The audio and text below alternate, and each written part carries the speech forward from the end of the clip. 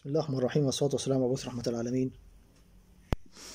جريمة الزنا التي انتشرت في المجتمعات الإسلامية بشكل فاحش. آه، الزنا له سببان رئيسيان. الأول آه، ضعف الوازع الديني والتنشئة الدينية الغير صحيحة. الأب والأم ينشئان الأولاد تنشئة يعني آه، غير صحيحة. لا يربى الأولاد على الدين. يعني يحضرني هنا رجل وامرأة كانوا بي يعني بي كانوا يسافرون يسافرون ويتركون الأولاد آه، في البيت. لجلب المال. وكانوا أصحاب مراكز. فنشأ الولد والبنت يعني بيناموا جنب بعض في الفراش نشأت علاقة غير شرعية بين الأخ بالأخ وأخته.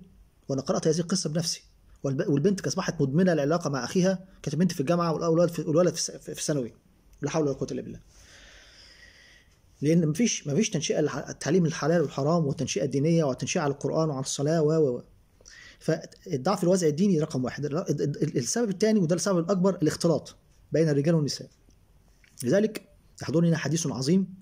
سيدة سيدنا علي بن أبي طالب يسأل السيده فاط- فاطمة رضي الله عنها يقول لها ما هو أفضل شيء للنساء؟ فترد عليه ردا غري- غريبا تقول له ألا يرون الرجال. ألا يرين يرين الرجال. فتعجب سيدنا علي بن ابي طالب فذهب إلى الرسول صلى الله عليه وسلم قال رسول الله يعني سألت فاطمة فقالت لي كذا فقال له فاطمة فاطمة بضعة مني فاطمة بضعة مني أي قطعة مني. يعني الرسول صلى الله عليه وسلم أقر ما قالت فاطمة. أقر هذا.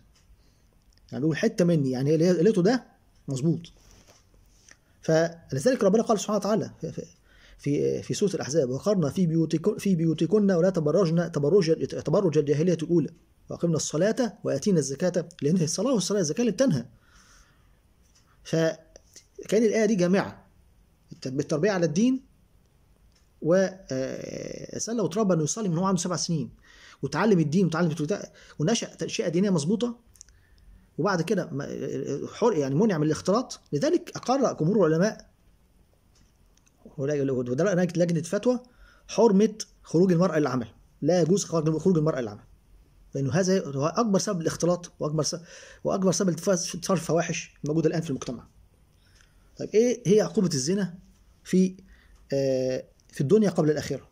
فيا ريت اللي بيسمعني دلوقتي ويمارس بيمارس الزنا والعياذ بالله في السر أو اللي يعرف واحد بيمارس هذا يرسل له هذا الفيديو.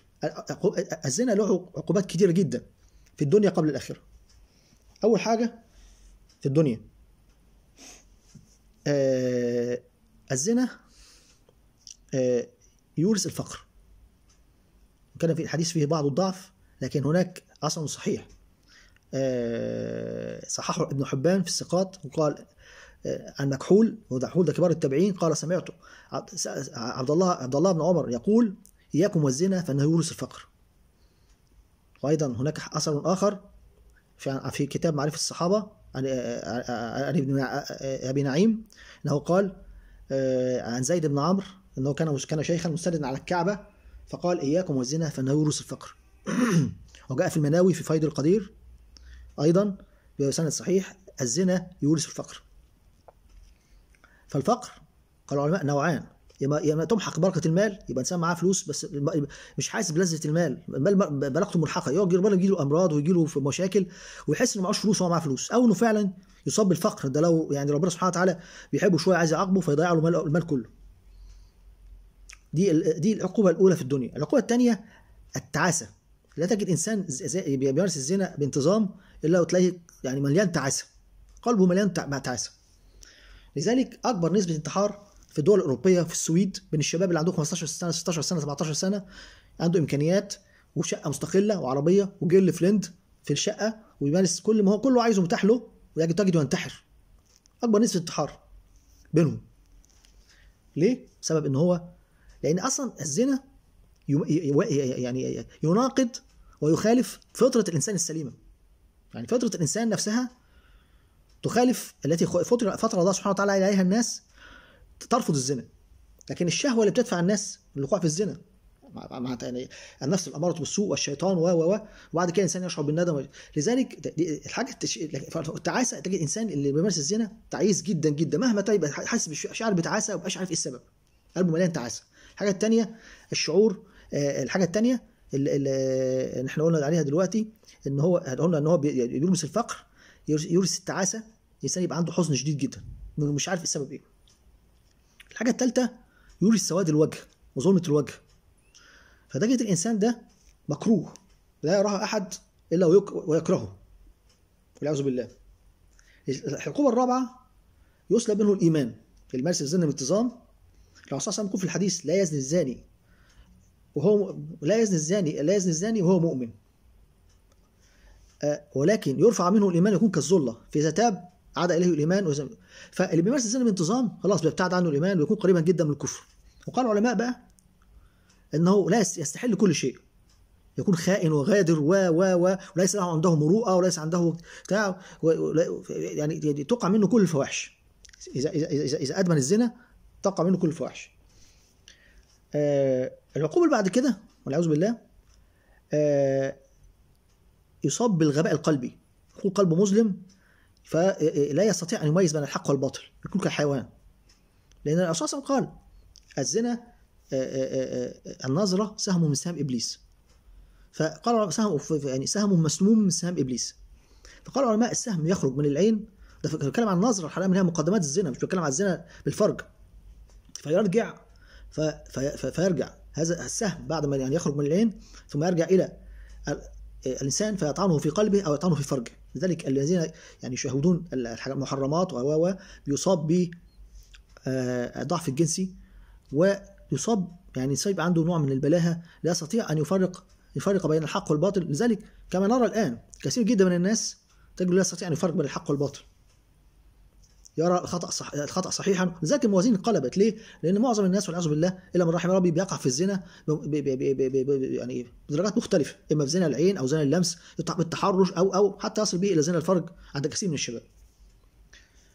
فتجد كثيرا من الناس يناصر الحق الباطل لا يستطيع أن يميز الحق بين يعني لا يستطيع أن يفرق بين الحق والباطل لأن إيه خلاص القلب صوب اصيب أصيب بعمى قلبي عمى ضعف في البصيرة. فالقلب لا يستطيع أن يفرق بين الحق والباطل بسبب الزنا. آه آه العقوبة اللي بعد كده بالنسبة للزاني بالنسبة للزاني الإصابة بالأمراض في الدنيا. لذلك 250 ألف واحد في أمريكا كل عام بيصابوا بمرض اسمه مرض آه الهربس. مرض مرض خطير جدا مرض معدي. بيصاب بيسبب حكة وهرشة. وتورم في الجهازات الجهاز التناسلي و و و.